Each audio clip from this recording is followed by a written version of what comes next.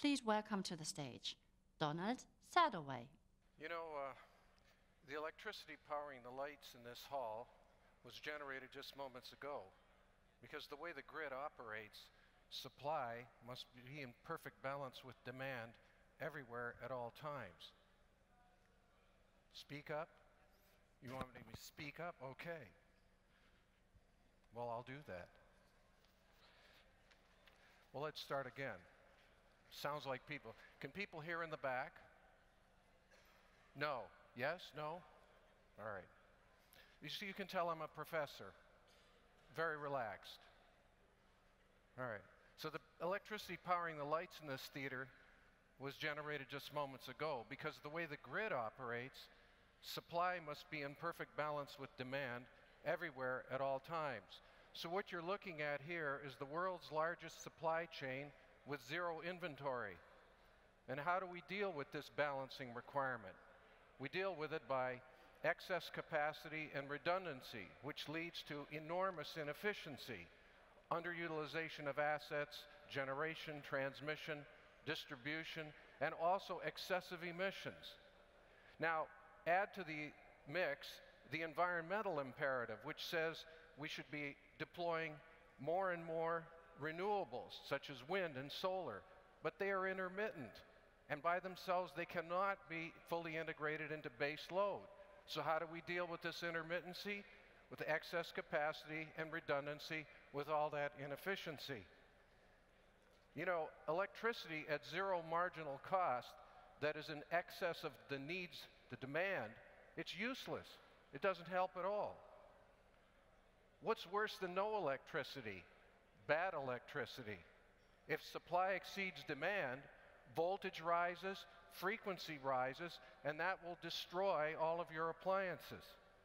Can you imagine if every time you went to plug in a device, the question you got to ask yourself is do you feel lucky? Do you? Storage is the missing piece. Batteries would allow us to draw electricity from the sun even when the sun doesn't shine. Batteries would do for electricity what refrigeration did for our food supply, what storage tanks did for our water supply. But attempts have failed to deliver a battery that can meet the harsh performance requirements of the grid, namely super long service lifetime and super low cost. It's time for disruption. And this means radical innovation in battery chemistry, but it's not going to be easy. Next slide, please. For innovative research, I turn to the university. Remember, the first battery was invented by a professor, Alessandro Volta, at the University of Padua. Here we see the first battery, a stack of coins, silver and zinc separated by cardboard soaked in brine. Volta's invention gave birth to a new field of science, electrochemistry. And in just 10 years, in the absence of entrepreneurship, mentoring, in the absence of innovation hubs, in the absence of venture capital, this invention gave birth to new technologies, electroplating and electroforming. Overlooked is the fact that Volta's invention for the first time demonstrated the utility of a professor. Until Volta, no one imagined a professor could be of any use. But Volta showed that if you give a professor resources, students, money, leave him alone, he's liable to come up with something of societal value. Next slide. Next slide, please. Ah, thank you.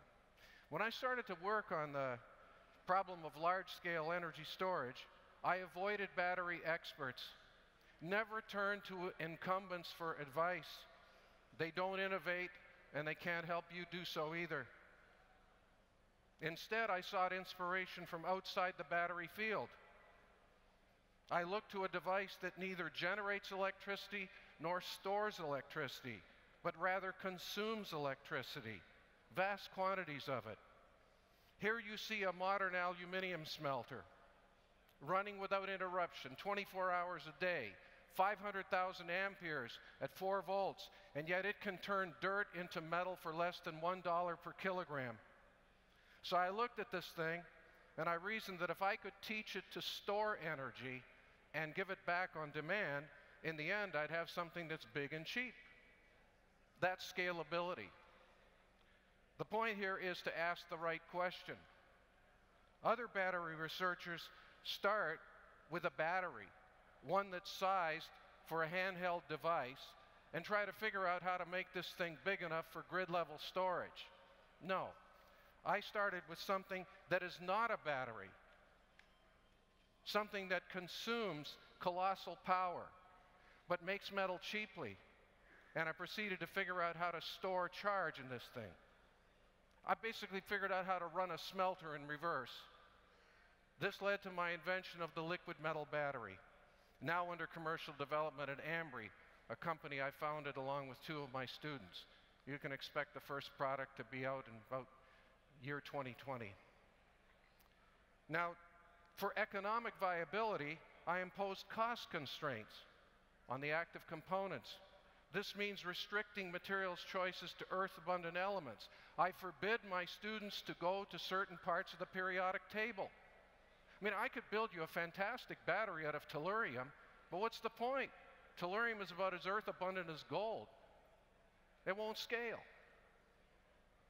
I say if you want to make something dirt cheap, make it out of dirt, preferably dirt that's locally sourced. That's way you have a secure supply chain. And this also means that batteries for Africa will be built in Africa by Africans using African resources. That way they become authors of their own future. Next slide. Now, my research was conducted at the university by people who were new to the field. Almost nobody in this image had studied electrochemistry before or had worked on batteries before. I taught them how to think about the problem, and then I set them loose. This is in stark contrast to research in corporate laboratories conducted by seasoned veterans, the battery industry. Remember, the lithium ion battery didn't come to us from the battery industry. So here's my team young, bright, unjaded, intellectually fearless, and motivated by the higher sense of purpose. They just want to change the world. They want to achieve the goals of SDG 7. That's all. So, to summarize my formula for innovation, ignore incumbents, draw upon inspiration from outside the field, and conduct research at the university with Aravis. What else would help? Aligned incentives. For example, change the investment rules, the tax codes, to encourage high net worth individuals to unleash patient money that is driven by concern for their legacy and maximum societal impact, not by maximum profit in the shortest time with minimum risk. With this flood of new funding, we'd see an acceleration in scale and speed. Now, I want to end by responding to Rachel Kyte's opening remarks yesterday, in which she said she hopes that we'll all leave this forum energized and inspired. And that conjured up for me a, a memory of uh, President Kennedy's speech at Rice University in 1962, the speech in which he uh, justifies his decision to put a man on the moon. When viewed as a metaphor, that speech is about much, much more than space travel. It's about taking on great technological challenges like grid level storage at the price point of the electricity market or uh, electric vehicles competitive with internal combustion. To paraphrase my favorite line in the speech, and I'm going to take some liberties here, we choose to work on universal access to sustainable electricity, not because it is easy, but because it is hard. Because that goal will serve to organize and measure the best of our abilities and skills. Because that challenge is one that we are willing to accept, unwilling to postpone, and one that we intend to win. No one left behind.